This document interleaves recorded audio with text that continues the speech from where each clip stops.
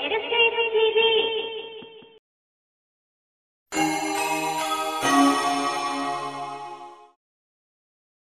っと、ぬーちゃんさん31歳大阪府の方です。あ大阪の方。同じ趣味を一緒にしたい。したい。話の話題が増えそう。増える。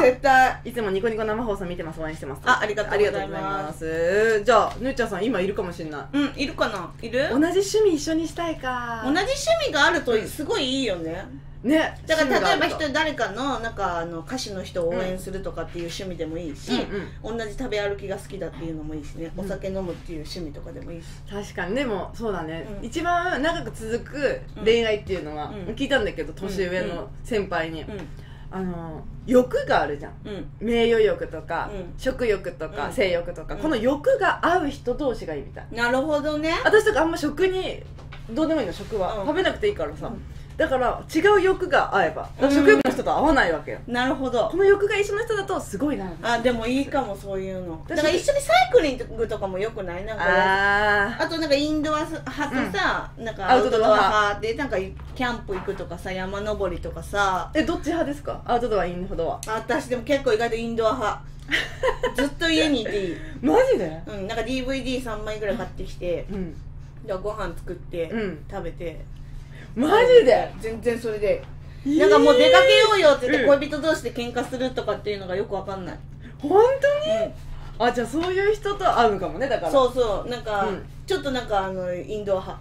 マジで？私はもうねそんなの嫌だお互い違う漫画読んでたりとかしててもいい。なんかずーっと。いやでなんかたまに喋ったりとか、あとサッカー観戦一緒に見たりとか、うん、うん、家でマジで、うん。だって今二人でいいのにさなんで？なんで別に一人でもできんじゃんそれって思うもん。あなるほどわねかるでしょ？これ。なんかそういう子も可愛いよね。どっか連れてって連れてっていいっていう人とかも可愛い行こうよっていう、ね本当ですあ落としちゃったじゃあ次行きましょうかはいパ何にしようかなパパッとじゃああ紹介してみるああさっきの意見ですハッピーさん36歳、うん東京都の方々です、うんありがとうございますえっ、と離れている時でも、うん。お揃いのもの。ほらーほを持ってると安心するって。安心するよ。アクセサリーなどなんだって、うんうん。離れてても一緒のもの。だからそのペアリングとかそういうことでしょ？そういうことも。アクセサリーとかペアリングってすっごい久しぶりに聞いた。ペアリングペアリングなんてすげえ憧れるけど私金属アレルギーだから無理だから。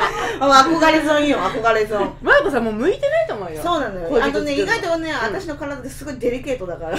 マジで？金属もダメだしサバもダメだし、うんサバはどうでもいいよ。サバもダメなのよあサバはどうでもいいよ。あと猫もダメだしね。あ書いてあるネックレスね、花輪はいらないよ。でも一緒にさすごい開いてる人いるよね、うん。いやいやピアスが、うん。すんごい大きく開いてる人とか。うわーこれね。きましょう。こちら、はい。ドン。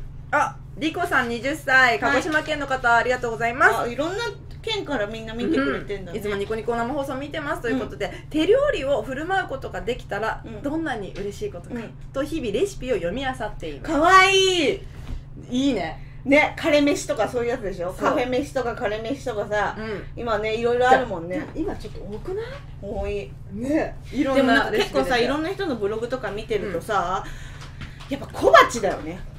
小鉢の多さだよ。ワンプレートが私昔はいいなって思ってたけど、うんうんうん小鉢の多さでやっぱできる女だなって思っちゃう1個でバッてやるよりちょちょちょちょちょってやってるのがさ。入れ物によるよね。ね。さささってしかも見て。うん。手料理で食中毒になったよだって。いや。まあね生だったりして今はね季節的にあれだからいねやほんとあのカフェ飯みたいな感じもよくない？あカレー飯じゃなくてカレーご飯なんだ。なるほどね。カリご飯ね。わかりました。えー勉強になります。いらないいらない。天丼したけど。じゃあ次行きましょうか、はい